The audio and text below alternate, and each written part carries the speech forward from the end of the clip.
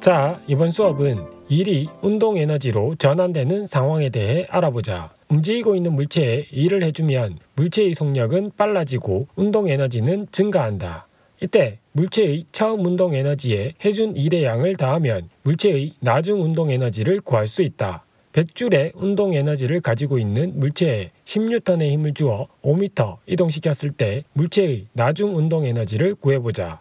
물체의 한 일의 양을 힘의 크기와 이동 거리의 곱으로 계산하면 50줄이고 처음 운동 에너지와 물체에 해준 일의 양의 합은 나중 운동 에너지와 같으므로 처음 운동 에너지 100줄과 물체에 해준 일의 양 50줄을 더하여 나중 운동 에너지를 계산하면 150줄이 된다.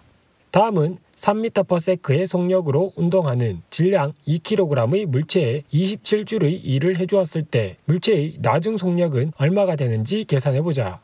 물체의 처음 운동 에너지와 해준 일의 양을 더하면 나중 운동 에너지가 되고 처음 운동 에너지는 2분의 1 곱하기 질량 2 곱하기 속력의 제곱 9이고 해준 일의 양은 27줄 그리고 나중 운동 에너지는 2분의 1 곱하기 질량 2 곱하기 물체의 나중 속력의 제곱으로 계산할 수 있다.